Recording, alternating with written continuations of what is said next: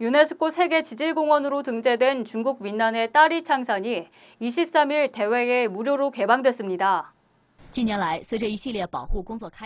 최근 여러 가지 보호 조치를 취한 결과 창산의 삼림식생 복개율이 96% 이상이나 되었으며 야생 동식물 수량이 회복되고 증가되었습니다.